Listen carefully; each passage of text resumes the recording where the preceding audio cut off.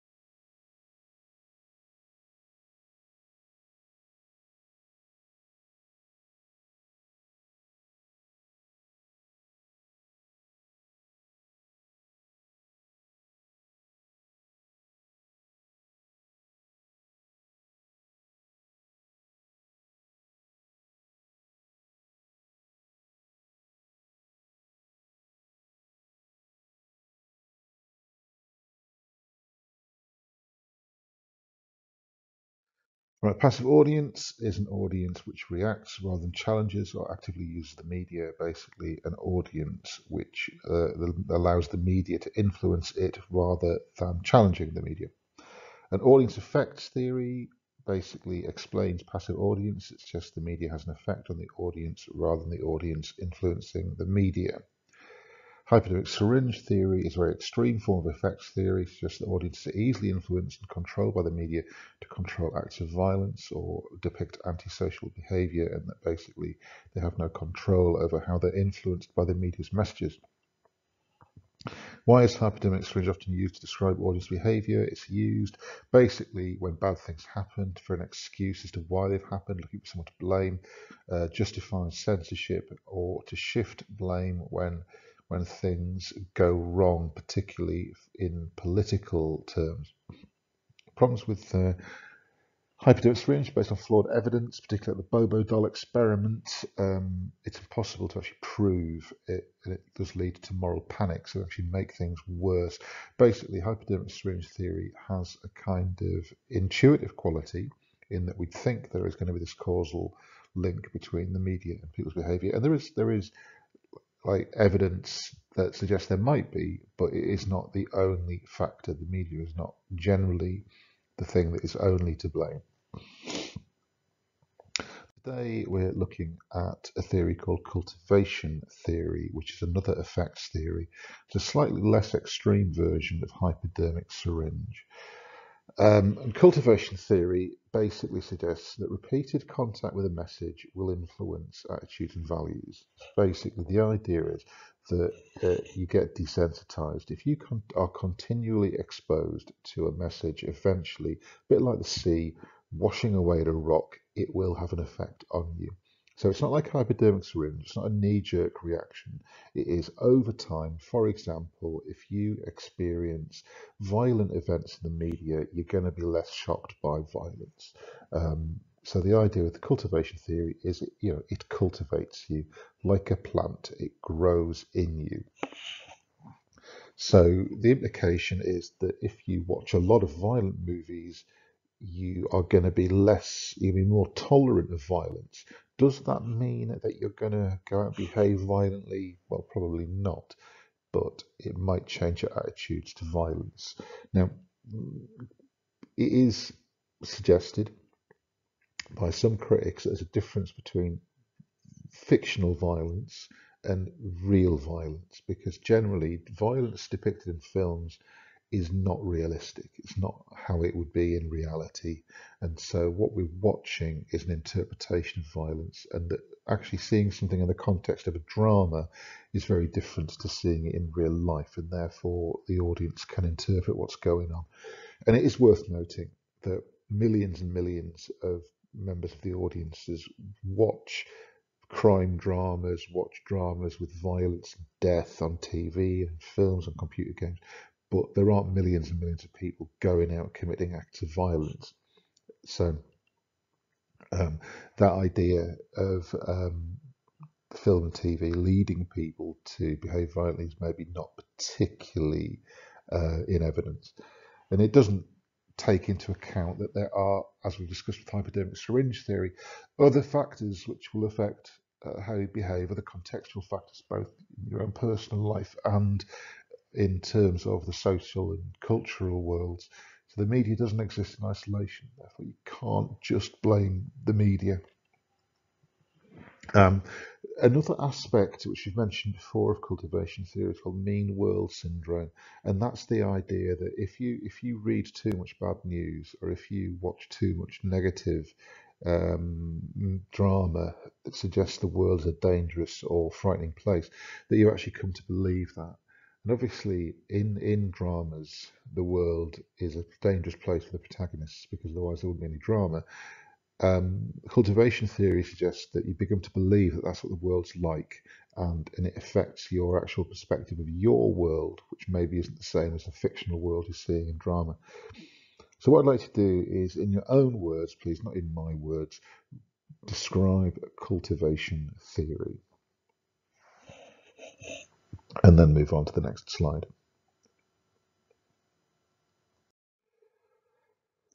Now, Um, cultivation theory, I did sort of say that it is very hard to prove, but it, it does explain how certain things happen because it is clear that people do believe what they see in the media. And I mean, the, the, the, the activities of Donald Trump earlier this year in his attempt to uh, overturn the results of the US election demonstrate that, that, that he managed over time to cultivate the idea in millions of people that the election result was corrupt. And he'd been doing that for months. So there is evidence that people over time can be influenced. But in this case, it wasn't the media that was influencing them. It was it was an individual who was using various media platforms, and so the media itself wasn't responsible for Stop the Steal. Uh, it was was you know it was simply the conduit that was used by Trump and his cronies. Um, we also saw examples before the elections in 1997 and 1999, where a number of newspapers spent a lot of time attacking Jeremy Corbyn, who was the Labour leader. Now, I'm I'm I'm, I'm not a big fan of Corbyn, um, and there is some evidence of anti-Semitism, and, and that basically means anti-Jewish attitudes in the Labour Party. But I don't think it was anything like as prevalent as the newspaper suggested. But a lot of people now do genuinely believe that not only was Jeremy Corbyn particularly anti-Semitic, but the Labour Party is an anti-Semitic Labour uh, anti-Semitic party. Those same newspapers did not emphasise rather negative attitudes in some areas of the Conservative Party towards Muslims, even though those attitudes do exist. Brexit is another example. Um, Brexit was very, very heavily promoted, particularly in um, right wing tabloid newspapers, as being a very, very good thing, uh, uh, with attitudes uh, against Brexit being presented in a very negative way. And, um, and that has obviously shaped people's attitudes a lot towards um, the Brexit uh, towards the Brexit vote when it happened and towards supporting Brexit, even though a lot of experts and a lot of evidence suggested that it was going to be not so good for a lot of people.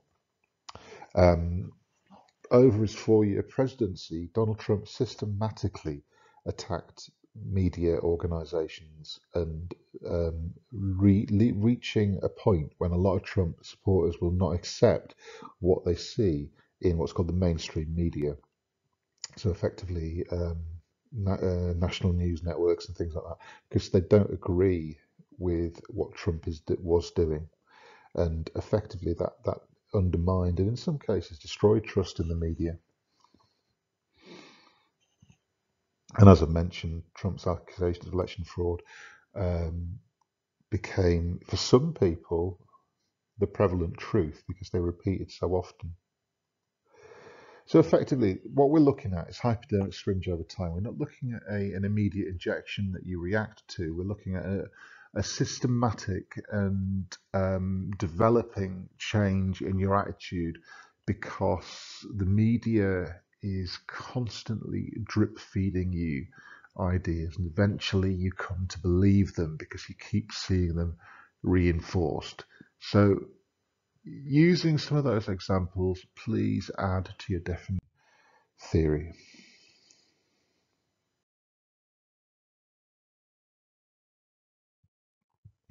Just a bit of background on cultivation theory. It was developed by a guy called Gerbner in the 1960s and the 1970s. And basically, it's focused on television. And uh, it, it suggests that the people who are high frequency viewers of television, basically people who watch a lot of television, tend to believe what they see in the media more. Uh, and that heavy viewers exposed to more violence become affected by what Gerbner called mean world syndrome. The idea that the world's a far worse and far more dangerous place than it actually is. They believe that the world they see on the television is the world that they live in, even though the world on television is a highly fictionalized version of the world. So heavy views of TV are thought to be cultivating attitudes to the world. uh, that makes them believe the world created by television is an accurate depiction of the real world. And uh, we effectively extrapolate that to other media forms, films, newspapers, adverts, and so on and so forth. Basically, the, the more you look at, the more you believe that the world of the media is the real world rather than the mediated world that we know that it is. And, and Gerbner suggested that prolonged watching of television can change the way you believe about violence. And, and on the one hand, that is your general belief about the world, that the world is a more violent, dangerous place.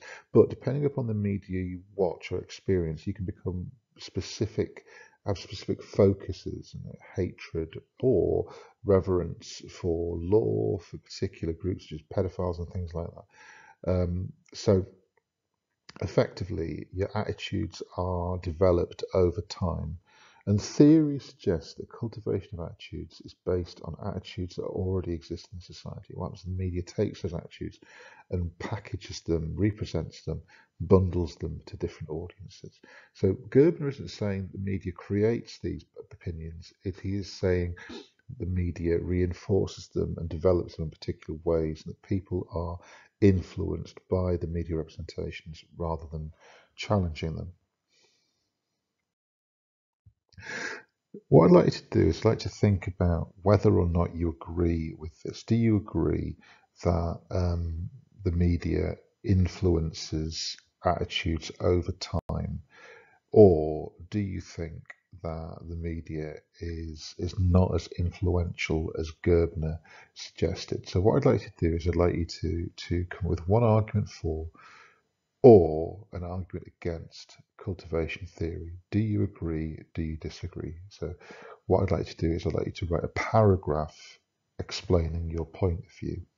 Right, so that's cultivation theory. We're now moving on to our third uh, effects theory. This is called two-step flow. This is an interesting one because this combines ideas of active and passive audiences. Um, so basically, two-step flow suggests the media itself is not only an influential uh, force on audience attitudes, that basically what happens is it's part of a larger system and that the, the media is only one factor in influencing audiences. So basically, if you look at the diagram there, what you've got is the media, and the media then passes messages not directly to the audience, but to what are called opinion leaders.